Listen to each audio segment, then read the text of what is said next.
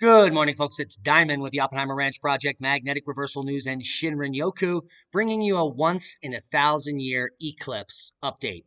The partial lunar eclipse happening this evening on November 19th, 2021, will be the longest since the 15th century, around the time Machu Picchu was being built. To the right is a countdown, which you can locate at the link below, time and date. Now, a partial lunar eclipse will take place on Thursday night into Friday morning in North America. The eclipse will shadow approximately 97% of the moon. The times you're looking at are UTC on this graphic.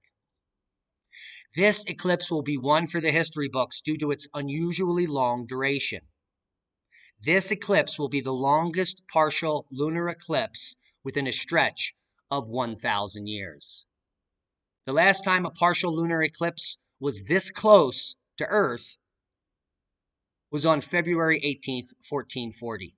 The reason is that the moon will be almost at its furthest point from Earth, or apogee. When the maximum point of the eclipse begins the moon's passing through the darkest part of Earth's shadow, and it will take more than 3 hours and 28 minutes. That's a record. Now, weather permitting, the event will be vis- visible from any location where the moon appears above the horizon. And if you went out last night and saw a gigantic moon that looked full, you'll have the opportunity to see the eclipse this evening. And the map, the graphic here, the darkest zone will be the best visibility.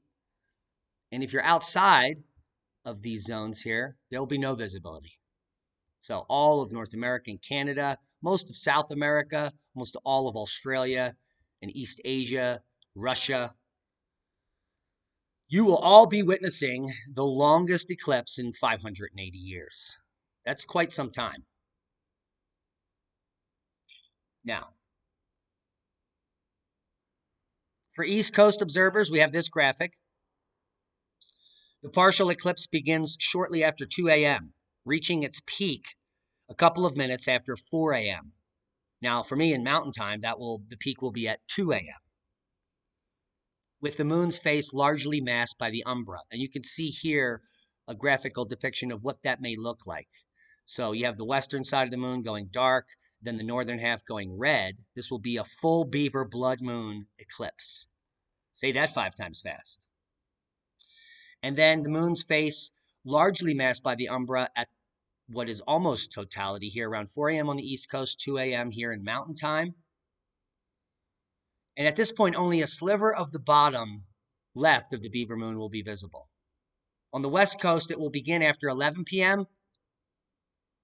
with a maximum covering at 1 a.m. Now, we have a wonderful graphic here. If you couldn't pick up what we just put down there with the times.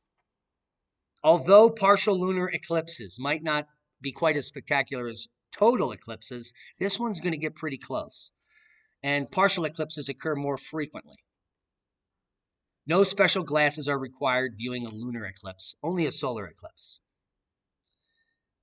But the best viewing will be an area where there is no light pollution. So go out, get out there, and look up.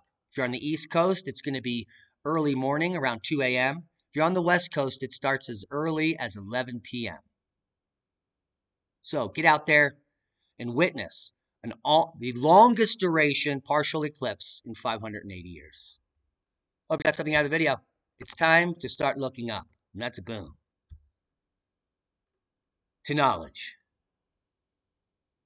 Share this with like minded people. Subscribe to the channel if you haven't, and be safe. We love you. Oh, yeah, and get out there tonight after midnight and look up. That's boom.